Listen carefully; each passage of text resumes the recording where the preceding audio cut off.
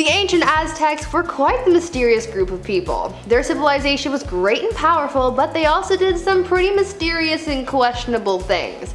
Today I've compiled a list of some of the strangest aspects of Aztec culture to share with you today, so let's get to counting down the top 10 mysterious things the Aztecs did. At number 10, human sacrifice. If you know anything about Aztec civilization, then you're probably familiar with their sacrificial practices. Human sacrifice was a huge part of Aztec culture, and there are a number of theories to explain why these rituals were so important and happened so frequently. It is believed that the Aztecs practiced human sacrifice as a way to repay their debts to the gods or as a display of political power. It really just depended on who was being sacrificed, which is honestly a little bit scary when you think about it. These rituals were a big deal to the community. It would involve a large gathering of people at the sacrificial temple. A priest would stand at the top of the temple with the person being sacrificed and they would use a ceremonial knife to make an incision along the abdomen, reach inside and pull out the person's heart while it was still beating. They would then place the heart in a bowl and then push the person down the temple stairs. What makes this more intense is the fact that those in attendance would also hurt themselves as part of an auto-sacrificial ritual. Imagining all of this happening at once is quite mysterious and a little scary if I'm being honest. At number 9, capture. Usually in warfare, especially in ancient times, the goal was to eliminate your enemies, so to speak. You go out there and you get rid of the threat. For ancient civilizations like the Greeks and the Romans, the amount of kills that you had determined your success as a warrior, but things were different for the Aztecs because they didn't rate your skill as a warrior on how many kills you had, but rather how many captures. It is believed that the Aztecs didn't want to kill their enemies on the battlefield, and that doing so was actually very clumsy. Instead, they believed that capturing your enemy alive showed more skill on the battlefield. This is a very different practice than most other ancient civilizations because most of them were all about bloodshed and gore. Now you might be wondering why they preferred to capture their enemies and not eliminate them on the battlefield and that's because they needed more people for sacrifices, point blank period.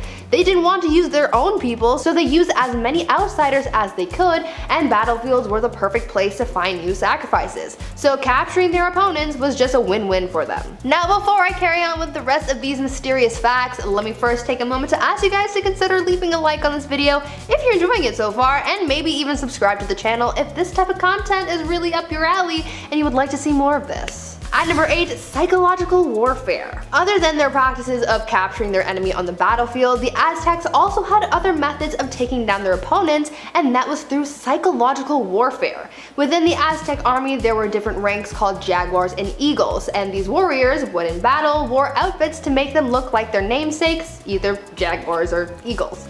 The eagles wore feathers and wore wooden helmets that made it look like the warrior's face was coming out of an eagle, and the jaguars wore the skin of a jaguar and wooden helmets that looked like the animal as well. While in battle, it is believed that these outfits were used for psychological warfare to confuse their enemy and frighten them away with these agile animalistic warriors. And if their outfits and agility weren't enough to scare them off, it is said that the other Aztec warriors would also bang on drums and make a lot of noise to scare off their opponents. At number 7, insane weapons. The Aztecs were some bloodthirsty people as you could imagine. I mean, unaliving people was part of their everyday practice, so you could imagine that they would have come up with some pretty brutal weapons to take down their enemies, right? Well, let me tell you about one gnarly weapon that the Aztecs called Hungry Wood because of how bloodthirsty this thing was. Because the Aztecs never developed metal tools, they had to improvise to make their deadly weapons, and they used what was available to them. To make the Hungry Wood weapon, they used a wooden plank, and they embedded shards of obsidian into it, and this thing was super sharp. Apparently, it was powerful enough to take someone's head off, and honestly, I wouldn't second guess that. According to a report from Spaniards who encountered the Aztecs, they once saw a warrior use this weapon to take the head off a horse in one blow. This was even tested in real life and though it took more like 3 solid blows to achieve the same outcome, the fact that this ancient tool was powerful enough to do that says a lot about this civilization.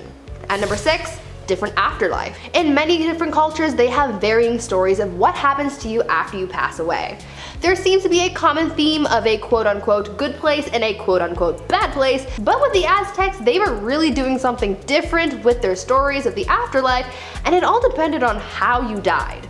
In Aztec beliefs, if you died as a warrior, then your soul would go on to somewhere that involved more war and you would battle there for four years before returning to the earth as a hummingbird. For women who died during childbirth, their afterlife involved them helping the sun prepare to rise and fall.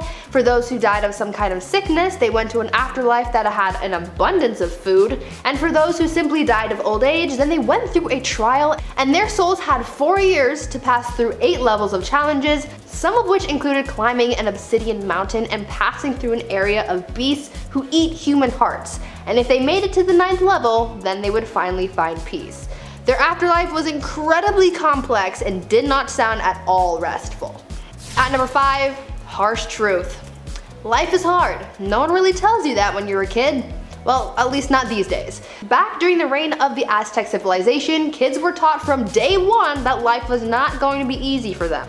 From the moment a baby was born, they were told that life was pain, you know, so that they knew exactly what they were getting themselves into. In Aztec culture, as soon as a baby was born, the midwife would take the baby in their arms and tell them the truth about life. They would look the newborn in the eyes as part of their religious tradition and tell the child, quote, life is an affliction, end quote. To really make the point of how tough that kid's life is gonna be, the midwife also promised the child that they would quote, die a horrible and violent death either in war or as human sacrifice, end quote. Sounds like quite the life. At number 4, stretch the kids.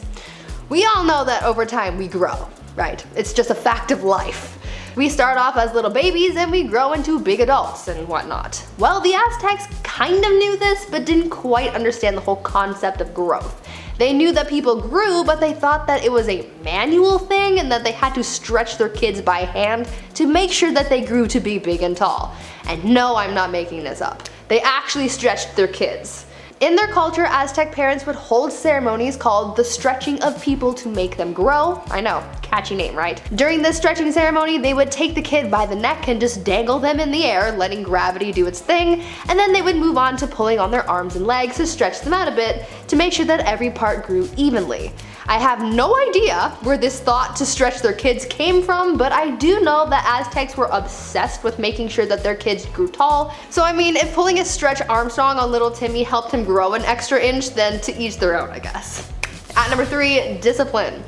This is probably one of the wildest forms of discipline I have ever heard of, and I would not recommend that you try this on your own kids because this is absolutely brutal, but then again, the Aztecs were some pretty brutal people, so it's only fitting that they start off at a young age.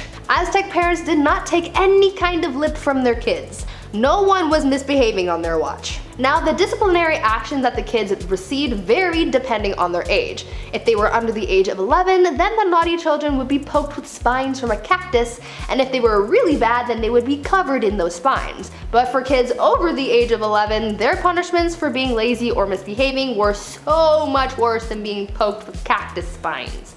Instead, they would hold their kid over burning chili peppers in a fireplace, making them breathe in the fumes. This was a very harsh punishment, but that was the life of an Aztec. Harsh from the get-go. At number 2, mandatory dance party. Another pretty odd thing that the Aztecs did was they held mandatory late night dance parties. Yeah, they basically had raves that everyone had to attend. This all night dance party was essentially the only way that young Aztec boys and girls could socialize because apart from these social gatherings, they were separated at school. These dance parties gave them a chance to socialize and also learn about their culture as it gave the adults an opportunity to share stories with the youngest generation of Aztecs. They would spend the whole night learning about religion and philosophy through songs played at the dance party. And the young Aztecs would also learn to flirt with one another since it was their only opportunity to. I think that out of all of the weird facts about Aztec culture, this is actually pretty cool because I've never heard of a culture having mandatory dance parties before. That's actually pretty awesome. And finally at number one, skull racks.